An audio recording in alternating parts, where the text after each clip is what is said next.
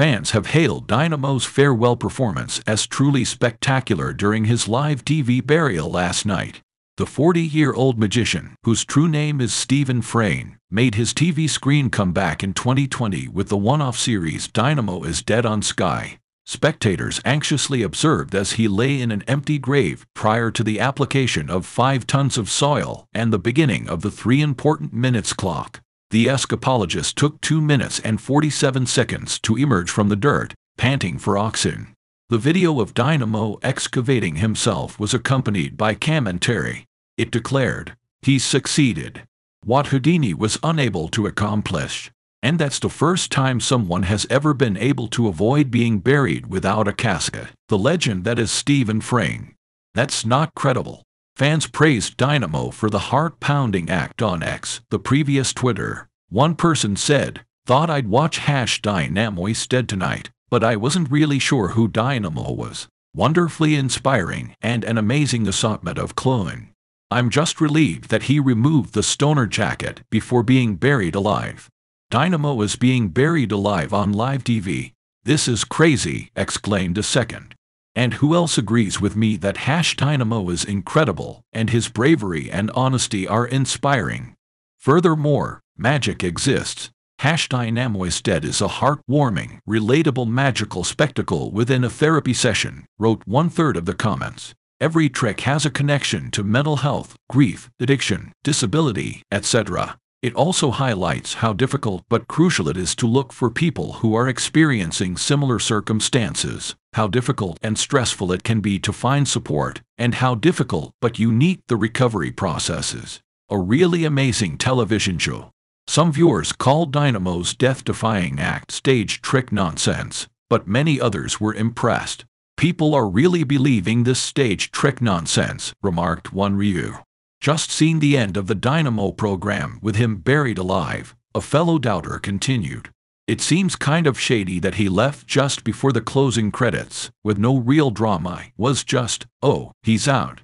The practice was started in 1915 by American escape artist Harry Houdini, who was buried under six feet of earth without a cag.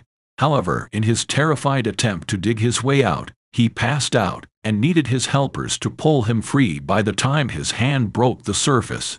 In 1949, British magician Alan Allen tried the same feat again and had to be saved as well. When he came out, shaken but alive, he was only a few minutes from death.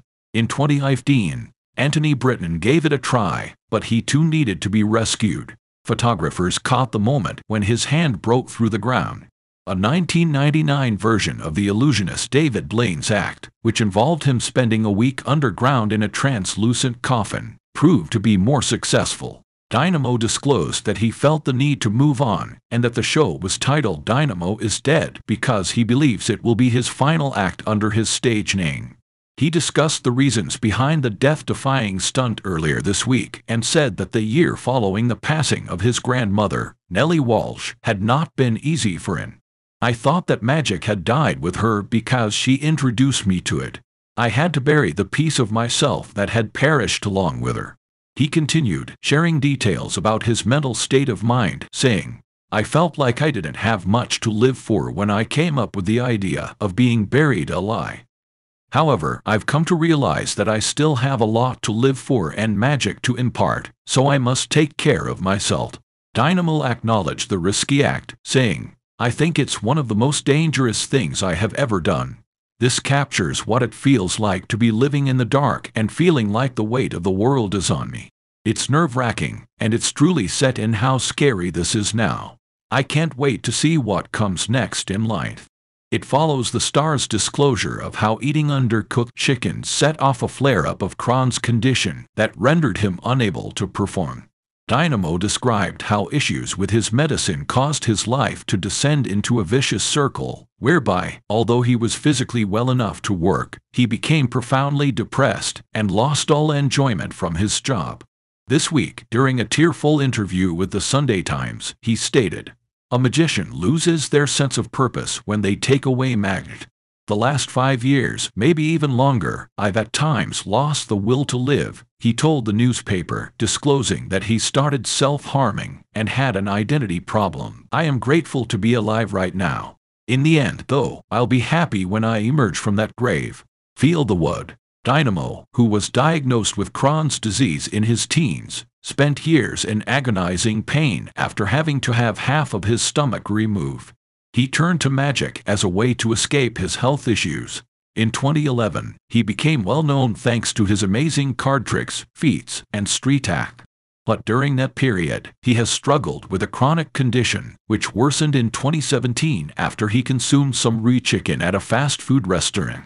After becoming silent for several months, he revealed to his admirers that he had been hospitalized due to a mix of food poisoning and Crohn's illness.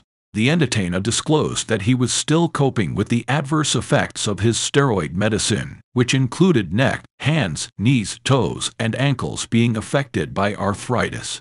Dynamo claimed that occasionally he was unable to shuffle a pack of cards due to the severity of the situation. Promising to return to magic, he said he was working with doctors and physio and doing all in my power to get to 100%.